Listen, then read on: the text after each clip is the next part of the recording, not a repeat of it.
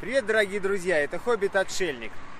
Позавчера многие граждане своей страны выходили для того, чтобы заявить требования о политической конкуренции.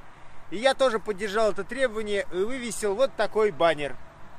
И буквально на следующий день на мою усадьбу было совершено вооруженное нападение. Вот посмотрите сами. Если вы спросите у меня, кто стрелял, я могу сказать, что, например, вот этот человек. Он как раз занимается тем, что возбуждает других людей стрелять, унижать. На мой взгляд, вообще для любой политической силы поддержка Каспарова, Миши 2% Касьянова или Навального теперь уже как поцелуй смерти отправляет на тот свет. Поцелуй смерти – отправляет на тот свет. Почему он это делает? Потому что он просто платный пропагандист. Наша задача твердо усвоить для себя, что это наша страна, и это нам решать, какое у нас будет будущее.